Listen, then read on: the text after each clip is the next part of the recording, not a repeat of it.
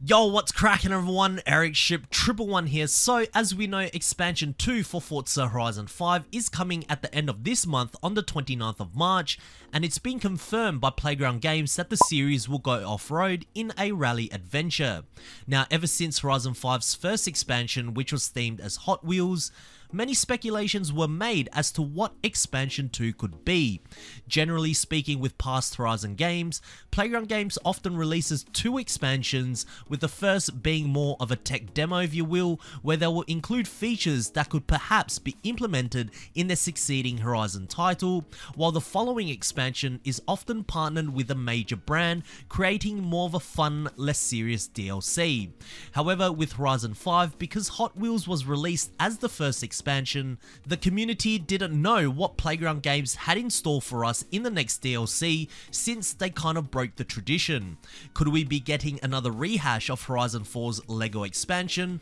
or are they just releasing the DLCs in reverse order? Therefore, whatever expansion 2 may be could be used as a tech demo for Forza Horizon 6. Sadly, that wasn't the case as it looks like expansion 2 is in some ways a loose rehash of Horizon 1's rally expansion expansion, and the hope of a city-based DLC in which not only the community were heavily requesting for, but is also the one thing that has essentially eluded the entire Forza Horizon series, is nothing but just a pure fantasy. So in today's video, I want to give you 5 reasons why I think a city expansion didn't happen for Forza Horizon 5. Starting off with number 1, original Xbox One weighing the game down. With Forza Horizon 5 being a cross-generational title, that means players who own an Xbox Series or any of the Xbox One consoles can play Forza Horizon 5. Now although this may sound well and good, the downfall is that there are limitations working with a 10 year old original Xbox One console. And one of the biggest examples I can give you is the map. Ever since this series moved towards the Xbox One generation from Horizon 2 through to Horizon 4, the map size never really increased, but with Horizon 5, the map grew 1.5 times larger. The only problem now is that the map feels more empty than ever, and that's because the total amount of environmental assets such as the roads, buildings and trees across Horizon 2 through to 5 have largely stayed the same. That's why Horizon 5's map feels so empty and that's because everything is just more spread out and it may not be possible for Playground Games to actually include more assets on Horizon 5's main map, otherwise it could hinder the performance on the original Xbox One console. Now let's imagine if Playground Games were to make a city themed expansion, they probably wouldn't be able to go all out and fill an entire map with high rise buildings and skyscrapers because the power of the original Xbox One won't be able to handle it. I can imagine the community and also myself as well given how high our expectations would be for a city themed expansion. If Playground Games were to make expansion 2 and call it I don't know, city adventure, and the map only had a handful of skyscrapers, kinda like Surfers Paradise in Horizon 3, I know I would be guilty of saying something like, if they're going to make a city expansion, why don't they actually make a full city or put in more effort,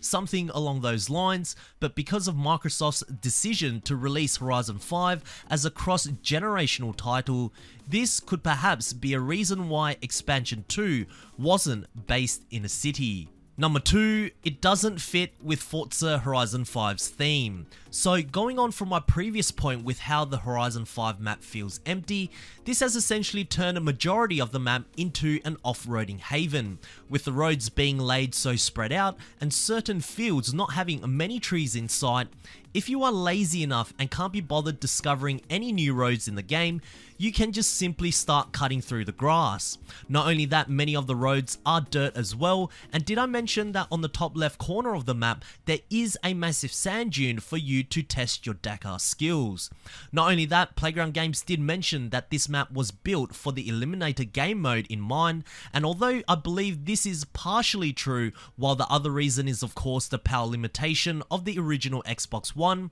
for those that have not played the Eliminator yet, let me put it this way, you do not win if you stick on tarmac. So not only does this map feature many off-roading areas where you can go cross-countrying in, but the map was also designed for a game mode that rewards you for driving off-road too. Therefore, instead of building a city expansion which is completely opposite to what Horizon 5 has to offer, maybe Playground Games decided it was a better decision to further expand on Horizon 5's off-roading experience, which now includes a new rallying race mode. Whether this was the right call or not remains to be seen, but you certainly can't argue that out of all the Horizon titles, Forza Horizon 5 certainly focuses on off-roading the most. Number 3, Expansion 3. Alright, I know this one may be a little bit far-fetched as throughout the Horizon series we have never had a third expansion, but at this point who knows what is going to happen next, with Playground Games essentially releasing two rehashed expansions. Maybe they are working on a city-based DLC behind the scenes, perhaps finding ways to truly optimize the Forza Tech engine so that they can find a balance between building a city as dense as they can while retaining optimal performance across all platforms. Now, generally speaking, expansion map sizes are a lot smaller than the main map, so perhaps this may allow them to place more huge asset buildings onto a smaller map to mitigate any performance issues that may be encountered on the older consoles. Now, with Forza Horizon 6 speculated to release in 2024 or maybe even 2025, that's almost 2 to 3 years of Forza Horizon 5 left to play. I'm almost certain that the thought of perhaps releasing a third expansion would have crossed Playground Games' mind, and just because in the Xbox and Microsoft store, it states that two expansions will release for Horizon 5 and you can pre-order them whenever you want, still doesn't mean that a third expansion isn't possible. Look at the Hot Wheels Legends car pack from Forza Horizon 4. That was a DLC that was released on its own out of nowhere and wasn't a part of any Forza Horizon 4 bundles or special edition releases. Number 4, Forza Horizon 6. So another speculation about Forza Horizon 6 is that it will run on the new Forza Tech engine, just like the upcoming new Forza Motorsport game which will release later this year and one of the important things to know about the new engine is that it has been developed solely for the current Xbox Series consoles only, meaning that Playground Games can develop the next Horizon title using all the power of the new Xbox Series consoles